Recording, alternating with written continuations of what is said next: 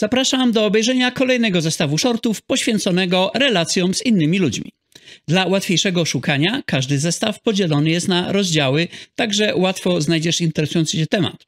Oczywiście wszystkie wskazówki siłą rzeczy dotyczą dość podstawowych kwestii, dlatego jeśli chcesz się stać bardzo dobrym w budowaniu relacji i radzeniu sobie z konfliktami, to zapraszam do przestudiowania zestawu naszych książek Sukces w relacjach międzyludzkich i Wojna na słowa, który to zestaw korzystnie kupisz w naszym sklepie.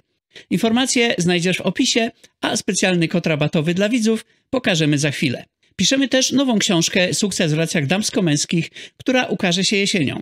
Jeśli chcesz być poinformowany, gdy będzie ona już dostępna i otrzymać na nią kod rabatowy 10%, to niezobowiązująco zapisz się na listę zainteresowanych. Link masz tutaj na dole w opisie. Jak wiecie, często radzę wywalanie niepasujących i problematycznych ludzi ze swego świata, zamiast bezsensownego użerania się z nimi. Wiele osób ostrzega mnie, że nikt przy mnie nie zostanie. Nie ma obaw. Mam sporą grupę ciekawych i różnorodnych znajomych i już właściwie nie muszę nikogo wywalać. Po prostu problematyczne osoby w ogóle nie wpuszczam do mojego życia i jest po problemie. Większość ludzi ma pod tym względem bałagan i śmietnik. No, wtedy niestety trzeba posprzątać. Polecam takie posprzątanie, a potem postawienie solidnej bariery na toksyków i malkontentów wszelkiego rodzaju. Wiele osób zarzuca mi, że jestem egoistą, bo dość szybko wywalam niepasujących ludzi z mojego otoczenia. Też takich zaburzeniami psychicznymi. Wyjaśnijmy to. Ja nie odbieram nikomu prawa do życia, tylko po prostu nie chcę mieć pewnych ludzi w moim osobistym życiu. Podejmowanie takich decyzji jest prawem każdego człowieka, a wstępna selekcja jest bardzo ważna i zapobiega późniejszym problemom, a nawet tragediom. I poza tym pozostawia wiele miejsca dla fajnych, wartościowych ludzi. Zapraszam fajnych, wartościowych ludzi do mego życia. Jak wiecie, jestem zwolennikiem bardzo starannej selekcji ludzi, z którymi chcę mieć bliską relację. Pewien widz napisał mi w komentarzu, że opowiadam bzdury, bo gdyby stosował moje kryteria, to byłby sam jak palec. Odpowiedziałem, że w jego przypadku, przy jego stylowi komunikacji, faktycznie tak mogłoby być. To jest nawiasem mówiąc kolejny przykład na odwrócenie argumentu. Nie polemizujesz z tezą drugiej strony, tylko dajesz jej interpretację. Więcej o tym mówimy w naszej książce Wojna na słowa. Jeden z widzów wyraził troskę, że ponieważ wciąż wywalam ludzi z mego życia, to czy w końcu ktoś przy mnie zostanie. Doprecyzujmy. Ja już nie muszę nikogo wywalać.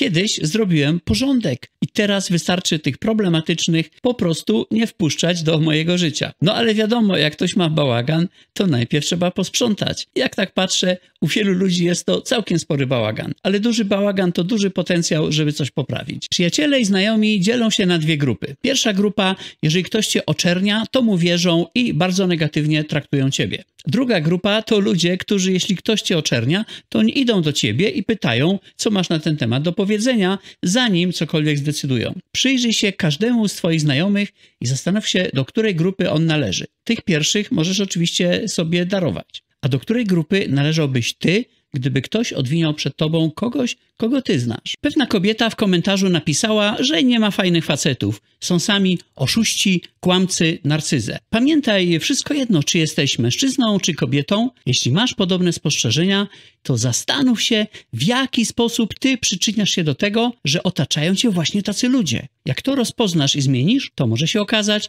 że nagle poznasz zupełnie innych, bardzo fajnych. Jak nie zmienisz, no to ci fajni z kolei będą cię dyskwalifikować właśnie za takie uogólnienia i stereotypy. Ty masz wybór.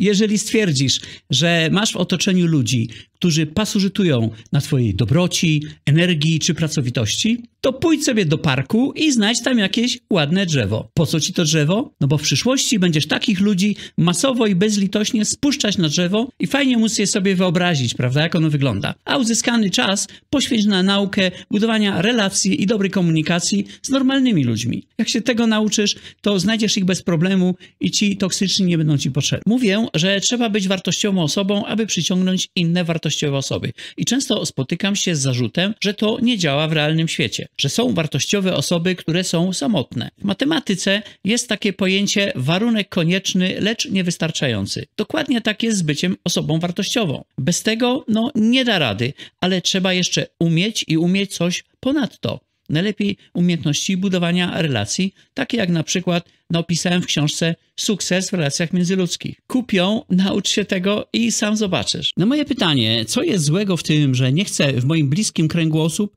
mieć osób zaburzonych psychicznie, pewna pani nazwała to wykluczeniem i napisała, cytuję, nie wierzę, że można być tak bezczelnym. Najlepiej być bucem i dyskryminować ze względu na czynniki, na które ktoś nie ma wpływu. Serio? Naprawdę to jest bezczelność, jeżeli ktoś mówi o swoich preferencjach w doborze bliskich znajomych? I, I to samo słowo wykluczenie, no to jest takie samo wykluczenie, jak ktoś mówi, że szuka partnerki o niebieskich oczach o, albo faceta o określonym wzroście, bo tego też nie można zmienić. Jeśli myślisz tak jak ja, to omijajcie takich ludzi jak ta pani bardzo szerokim łukiem. Jeśli się z nią zgadzasz, no to omijaj szerokim łukiem ten kanał. Jeden z widzów napisał, że nie można dobierać sobie ludzi w otoczeniu, bo w momencie pracy u pracodawcy jesteśmy skazani na wybór dokonany przez kogoś innego. Widz wie, że można zmienić pracę, ale nie chce bezskutecznie robić to w nieskończoność. Faktycznie taka niekończąca się zmiana pracy nie jest rozwiązaniem. Zamiast tego warto popracować, aby zamiast pracodawców mieć klientów,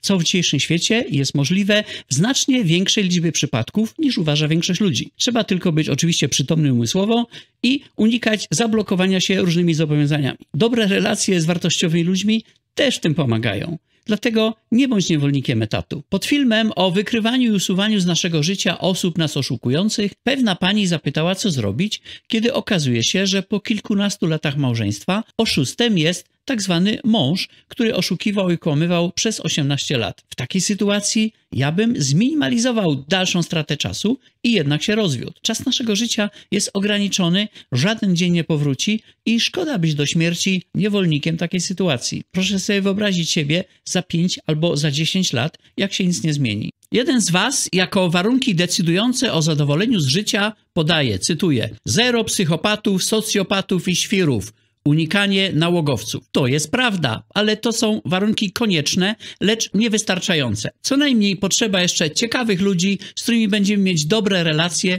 i ciekawego zajęcia naszego umysłu. Inaczej będziemy wegetować w próżni społecznej. To jest smutne. Jeden z Was pyta, co zrobić, jeśli toksyczny partner zmanipulował jego środowisko, które teraz jest przeciwko niemu. Od dorosłych i dojrzałych ludzi można oczekiwać, że będą budować swoje osądy na czymś więcej niż wypowiedź jednej strony związku. Jeżeli ci znajomi dali się tak łatwo zmanipulować toksykowi, to znaczy, że w tym zakresie coś z nimi jest nie tak. Możesz o nich zapomnieć i poszukać bardziej ogarniętych i mniej manipulowanych manipulowalnych. Tak będzie lepiej dla ciebie. Uświadom sobie, że bardzo wiele negatywnych sytuacji opisanych w moich filmach można uniknąć, jeżeli masz właściwą wiedzę i umiejętności, których nie uczy ani szkoła, ani społeczeństwo. Dlatego musimy sami inwestować w siebie i w nasze umiejętności społeczne. Ja też tak musiałem. Nasze książki Sukces w relacjach międzyludzkich i Wojna na słowa, a także będący w przygotowaniu Sukces w relacjach damsko-męskich będą kluczem do odblokowania Twojego potencjału i budowania trwałych i satysfakcjonujących więzi z innymi ludźmi. Tyle na dzisiaj. Obejrzyj jeszcze ten film, a potem proszę daj lajka i zasubskrybuj ten kanał, aby nie przeoczyć kolejnych praktycznych filmów.